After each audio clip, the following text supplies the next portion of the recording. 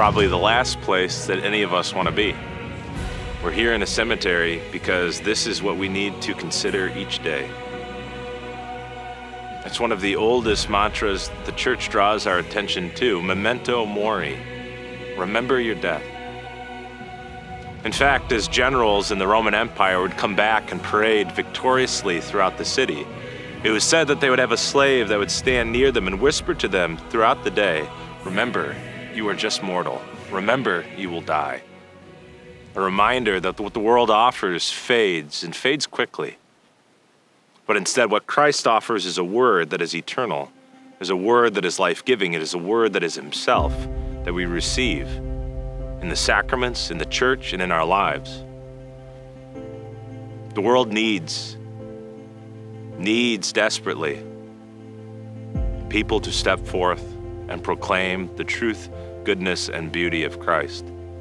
And we do so first and foremost by acknowledging that our life here is a pilgrimage. It is finite, it will end.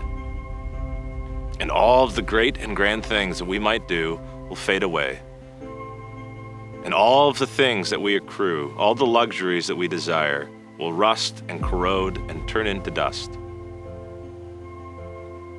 Think back one generation in your own family. Think back two. Think back three. As we go back in the generations, our familiarity, our memory, and our capacity to even name those members of our own family begins to fade Sure, we might be remembered, but not for long. Our souls, instead, are made for that which is infinite. And that is how we must order our lives and order our day by living for Him.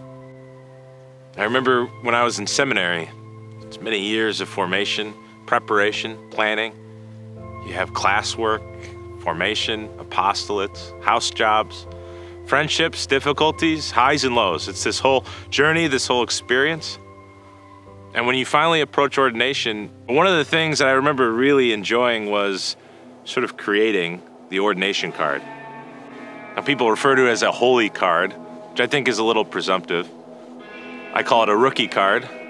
But on it, you include an image, an image that's really important to you, and on the back, the date of your ordination, a request for prayers, and maybe a quote from scripture or a quote from someone or something that's very important to you. On the front, I chose one of my favorite images of the crucifixion, but on the back, I felt really compelled to include the episcopal motto of a man who's referred to as the Lion of Munster, Cardinal Clemens von Galen. He was the first bishop elected during the Nazi regime during the time of Adolf Hitler. And it was then that he entered into this period in which he, frankly, upset everybody. That he would preach viciously, with great vigor, against the atrocities that occurred. And after the war, he would stand up and condemn the Allies and their treatment of the Germans. Now, in so many ways, he really wasn't liked by anyone. But he was a man who chose the path always of virtue and is now a blessed in our church for it. Now, the motto that he chose is as follows Nec laudibus, nec timore. May neither the praise of men nor fear of men distance me from God. I summarize just in those four words that his thought, his life, his action, none of it is dictated by his concern of what others might think or say or do. He was a man who was totally convicted in his relationship with the Lord. And in so many ways, that's what each one of us is called to in our own lives as Christians. But the world needs, in fact, it desperately needs the salt, the light, and the life and vigor that we offer as images of God in society. And increasingly, it seems like the darkness is just beginning to cave in and to cascade into our lives. We need to neither fear nor desire the praise that the world offers. We must simply exist for Christ neither praise nor fear. Growing up, it was always the same. Sunday morning, early morning, we'd get up, get ready. We'd stand there in our laundry room, our mud room. My dad would spritz our hair with water, comb it over, make sure we looked presentable for Mass. And I remember thinking the world, still do, of my father. He's an attorney. He works hard, provides for his family. But I noticed something. He wears a suit every day when he go to work. He wears a suit on Sundays. He was one who feared nobody and lived only for his family. Continues to to this day. But we'd go and we'd go to church. And I'd see this man who could do anything. And he'd kneel down. And I remember looking at him and looking up at the Lord and looking at him and looking down at myself.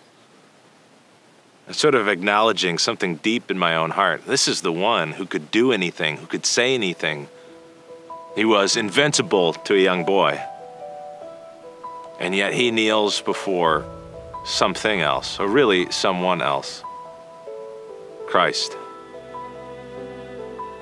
It's that witness that's so powerful. To acknowledge our need for the Lord, that our hearts are hardwired, they are made for Him, that all of our desires are just faint echoes of the fulfillment that the Lord alone can offer. And to see Him kneeling there, not praying, but as a man of prayer is a powerful image and an important step in my own journey. The world offers us much, but all that is passing. We sit here in this cemetery and we remember that we are made for Him, and that our lives flash but in an instant. And we are pilgrims on a journey, and our hearts, our lives, they are made for communion with Him. It's in Him alone that we rest. So He sends us forth with this in mind to hunt for souls, to seek them out, to draw them into communion, to walk with them as companions on a journey. Nothing that the world offers is enough, except the Lord alone. The sacrament of confession is where I have felt the Lord's love, and I continue to to this day when we enter into that small confessional and we expose our sins to the Lord, we're vulnerable and we receive that love and mercy. We receive that absolution. It's such a moment of love and freedom. You know, when I go to confession, I really kind of break it down in my mind in four ways my relationship with God, my relationship with my family, my relationship with my friends and society, and my relationship with myself. But truth be told, for those who go to confession, it becomes easier the more you go. You begin to learn those things in your life that you really struggle with. That it's not just checking in like we would with the doctor every 10 years, but imagine going every two weeks and checking in with your sort of primary care physician. They begin to notice even small changes, these indiscriminate moments where you're like, oh, wow, where's that from? Or how's that connected to this? And so when you think about confession, think about it in those four ways your relationship with God. Do you pray? It begins there. First and foremost, when you get up in the morning, do you offer a morning offering? Do you pray to the Lord? Do you sit with Scripture? Do you read the readings for the day? Do you sort of go through your agenda of the things that are being asked of you? And do you invite the Holy Spirit into that? Do you fulfill your Sunday obligation and obligations of every holy day? Do you encourage and invite your family into this as well? Do you speak well of the Lord? Do you take his name in vain? Do you take the things that he holds you to and calls you from in vain or cheaply consider them? Our relationship with the Lord is really where everything begins. It's that solid rock of formation. And from that, we're able to move out into our family and into our friends, our coworkers, and the different things that are asked of us. And that's really where we get bogged down in the muck. Have I gossiped? Am I envious? Am I jealous? Have I judged? Have I used violence, physical violence, verbal violence? Have I struggled with anger or wrath? Have I been spiteful? Have I been lazy or slothful? Have I had lustful thoughts? Any of these things, really, you know, as we hear them, sort of draws out something. You say, I don't struggle with that, I do struggle with this, and in so many ways, we're called to really enter into that in a deep way. Because those sins, in so many ways, become like a check engine light. You're like, why am I such an angry person? Why do I struggle with anger and wrath so often and so much with so many people? Maybe the Lord's calling you to examine that just a little bit. Maybe there's a wound there that we've not allowed Him to heal. Why am I so lazy? When I finally have free time, why am I so lazy? Why am I gluttonous? Why am I envious? We can sort of go through these different things. And to really ask ourselves, what are the sins that we're committing with great frequency? Are we honoring our parents? Are we lying often? Are we coveting things that are not our own? Have we stolen? Have we borne a false witness? and then to finally examine our, our own lives and our own relationship with ourselves. Do we see the image of God in our own lives? Do we have dignity and respect for it? And do we bear that as the temples of the Holy Spirit that we are in society? Do we treat ourselves and our bodies well with the sleep we need, the food we need? Do we abuse ourselves in any way? Rejecting the dignity that God's called us to. Friends, confession is at the heart of spiritual growth spiritual life is really bound up in this intimate encounter with the Lord. We receive His mercy. But it's kind of the work in anticipation of that where we really begin to grow, where we look at our lives and we say, wow, I've really been living for myself in the past month. And so when you go to confession, there's a few things to consider. First, invite the Holy Spirit into it.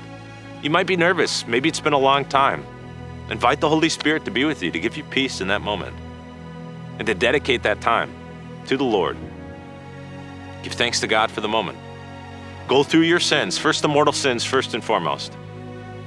This grave matter that you've freely chosen, without any coercion, fully understanding how it is rebuking and rejecting the Lord and His will. Those mortal sins must be confessed. But even those other sins that really lead into that, into those grave moments in which we turn away from the Lord, can be offered back to Him for His mercy and forgiveness. And so when we go, confess them, I might even recommend saying the words, I accuse myself of the following. Because we find ourselves so tempted to say, I probably did this, I may have done that, I shouldn't have done this, perhaps. And we condition our own fault. Just be brave, be bold. The Lord is there to receive it all and to cast it aside. I accuse myself of the following, and we list our sins, we say how often we did it, we offer any details that might be necessary. We receive our penance. We offer our act of contrition, and we go forth redeemed, loved, and set free by the Lord in His mercy. And so have no fear. It is the great stage of encounter with our Lord and Savior in the place of confession.